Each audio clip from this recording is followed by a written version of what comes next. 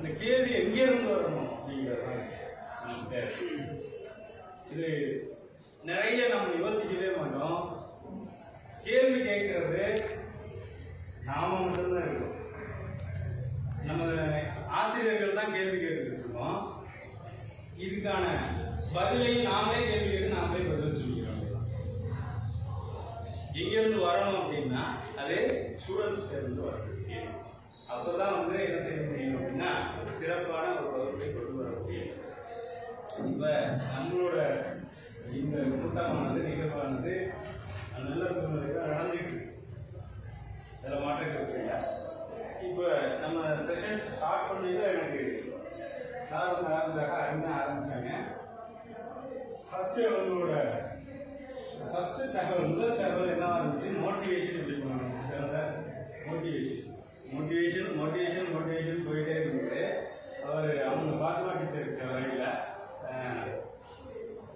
கமீடியா girls அவங்களுக்கு என்ன பண்ணிட்டாங்கன்னா சார் வந்து மோட்டிவேஷன் சொல்லுவாங்க பாடத்தை எப்படி அறிமுகம் அப்படி கேள்வி அப்போ நான் யோசிச்சு பார்த்தேன் என்னடா சார் வந்து மோட்டிவேஷன்ங்கிறத எல்லாத்தையும் கேட்டுக்கிட்டு நம்ம மோட்டிவேஷன்னா என்ன செய்யலாம் அப்படிங்கிறத யோசிச்சுட்டு இருக்கிறதுல அவர் அஞ்சு பேருக்கு ஏன்னா ஏன் டைம் வருதுல்ல அப்ப ஆஹா அறிமுகத்துக்கு போயிட்டாரு பாட அறிமுகத்துக்கு அப்படின்னா அது பாட அறிமுகம் பாட அறிமுகம் பாட அறிமுகம் அப்படின்னு சொல்லி போயிட்டாரு.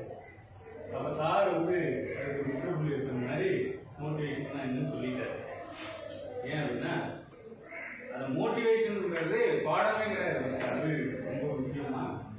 இன்ட்ரடக்ஷனுக்கும் மோட்டிவேஷனுக்கும் வித்தியாசம். இன்ட்ரடக்ஷன் தான் நீங்க என்ன செய்யணும்? பாட சம்பந்தம் தான் கொடுக்கணும். மோட்டிவேஷன் வந்து பாட சம்பந்தம்னாலே கொடுக்க வேண்டிய அவசியம் கிடையாது நம்ம எல்லாரும் நினைச்சிட்டு இருக்கோம். அதாவது இப்ப இப்போ இங்க நடக்கக்கூடிய ட்ரெயினிங் புது அதாவது புதுசா நடக்குது அப்படின்னு நினைச்சிருக்கோம் நாம சார் என்ன சொன்னாங்க அப்படின்னா இந்த ட்ரெயின் புது மாதிரியான ஒரு அமைப்பை நமக்கு உருவாக்கிற போது மாற்று கருத்து இல்லை சரி ரைட் ஓகே இருக்கட்டும் என்ன ட்ரைனிங் என்ன சொல்றாங்க? அதாவது நாம் எழுதுற லெசன் பிளான்ல நம்ம லெசன் பிளான் எல்லா எல்லா ஆசிரியர்களும் எழுதுறோம். அதுபடி பாடம் இருங்கன்னு தான் சொல்றாங்க இதை தான் நம்ம எடுத்துருக்கோம் அதனால புதுசா ஒரு புதுசா நம்ம சொல்லித்தரல அதே மாதிரி ஒரு தகவல் என்ன அப்படின்னா மோட்டிவேஷன்ங்கிற விஷயத்தையும் நம்ம போயிடணும் இல்லையா அப்ப மோட்டிவேஷன்ங்கிறது பாட சம்பந்தமான ஒரு தகவலே கிடையாதுங்கிறத ஃபர்ஸ்ட் அனைத்து ஆசிரியர்களும் நம்ம புரிஞ்சுக்கணும் பாட அறிமுகம் வேறு மோட்டிவேஷன் இது கரெக்டான ஒன்று.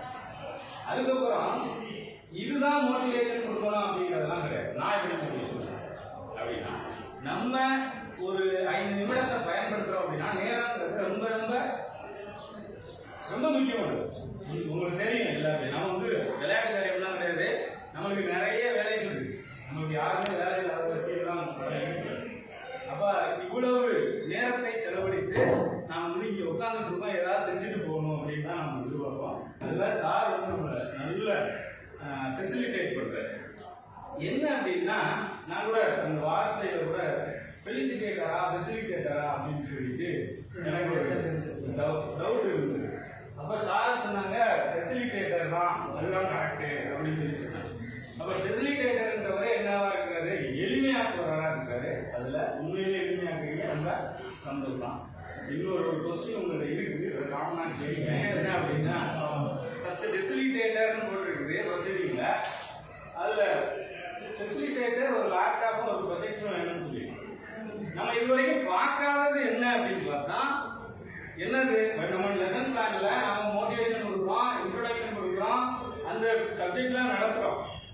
ஃபீட்பேக் பட ஒப்படைப்பும் கொடுக்குறோம் மீளாய்வு பண்றோம் புதுசா ஒன்னே வந்து சொல்லியிருக்கிறாங்க என்னங்கிறத அன்னைக்கு ஆசிரியர் தெரிஞ்சுக்கிட்டீங்களா என்னன்னு தெரியல ஒரே ஒரு தகவல் மட்டும் அழுத்தமா பதிவு பண்றேன் ஏன்னா நான் வந்து அந்த அஹ், எனக்கு வந்து ஆய்வு பண்ணிட்டேன் இன்னைக்குலாம் வந்து என்ன செஞ்சாச்சு ஆய்வு முடிஞ்சிச்சு அதனால அந்த அவங்க சொன்ன தகவலை உங்கள்ட்ட ஷேர் பண்ண வேண்டியதான் வாய்ப்பு வழங்கக்கூடிய விஷயம்லாம் நானா வாங்கிக்கிறேன் உண்மையா இல்லையா?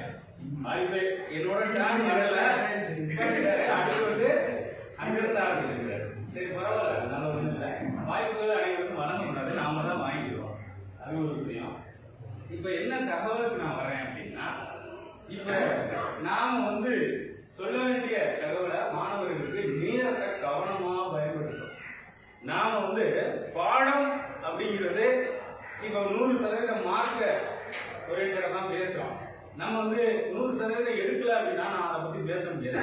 கடந்த வருடம் நான் நூறு சதவீதம் எடுத்திருக்கேன் நான் எப்படி பண்ணேன் சொல்லி. சரிங்களா? இப்போ நூறு சதவீதம் எடுக்கிறதுக்கும் பாடம் நடத்துறதுக்கும் எந்த சம்பந்தமும் இல்லை இது எல்லாருக்குமே தெரியும். பாடம் நடத்த வேண்டிய அவசியமே கிடையாது. நூறு சதவீதம் மார்க் எடுக்கிறதுக்கு. எதுக்கு நம்மளுக்கு வந்து பாடம் நடத்துறோம் அப்படின்னா அவனுக்கு ஒரு பாடத்தை கொண்டு போய் சேர்க்கணும். இதுக்காண்டி தான் நம்ம பாடம் நடத்துறோம் நம்ம விளையாட்டுக்காரி எல்லாம் கிடையாது. நம்மகிட்ட வந்து ஒரு மாணவர்களை ஒப்படைக்கிறோம் அப்படின்னா அவன் ஒரு பொக்கிஷம். இந்த நாட்டோட பொக்கிஷம்.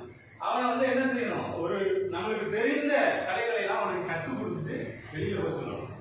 அட்லீஸ்ட் அந்த நிறைய விஷயங்களை சொல்ல முடியலைனாலும் அந்த நாற்பது நிமிஷத்துல ஒரு ஐந்து நிமிடங்கள். மோட்டிவேஷன்ல அவன் அட்டென்ஷனுக்கு கொண்டு வரும். அந்த அட்டென்ஷனுக்கு ஓ அதாவது ஸ்கேல் அதை பயன்படுத்துற விதங்கள் ரெண்டும் பல விதமா இருக்கு.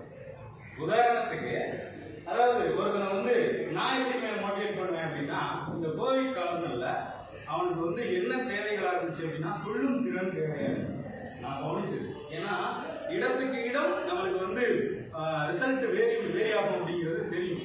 அதாவது நான் இந்த இந்த ஆங்கிள் இருந்து பார்த்தா அதுக்கு ரிசல்ட் வேற இந்த ஆங்கிள் இருந்து பார்த்தா அதுக்கு ரிசல்ட் வேற நம்ம இடத்துக்கு இட- என்ன செய்ய முடியும் அப்படிங்கிறத நம்ம பயன்படுத்தணும். அப்ப இந்த சுச்சுவேஷன்ல நான் செய்யறது என்னன்னா ஃபர்ஸ்ட் உள்வாங்கிட்டு அவன் திருப்பி செல்லக்கூடிய திறனை நமக்கு என்ன செய்யணும்? அட்லீஸ்ட் வளரும் அந்த நம்மளுக்கு கிடைக்கிறது நாற்பது நிமிஷம் தான் அந்த நாற்பது நிமிடத்துல அந்த மூன்று நிமிடத்தை நம்ம அதை பயன்படுத்தலாமே. அவனை வந்து உள்வாங்கி என்ன சொல்றான்? அப்படிங்கிறத எவனுக்குமே வந்து என்ன இல்லை அப்படின்னா ரீடிங் ஹேபிட் இல்லை இது வந்து அதாவது ஏசர் கம்பெனி வந்து என்ன பண்ணியிருக்காங்க அப்படின்னா அதாவது சென்ட்ரல் கவர்மெண்ட் ஒரு என்ஜிஓட கொடுத்துருக்காங்க. ஒவ்வொரு மாநில வாரியாக மா- அதாவது மாணவர்களின் ரீடிங் கேபபிலிட்டி எப்படி இருக்குது? அதை நீங்க புள்ளி ஆய்வு பண்ணிட்டு வாங்க அப்படின்னு சொல்லிட்டு சென்ட்ரல் கவர்மெண்ட் என்ன பண்ணிருக்குது? நம்மளுக்கு வந்து இந்த ஸ்கீம்லாம் வந்து சென்ட்ரல் கவர்மெண்ட் தான்.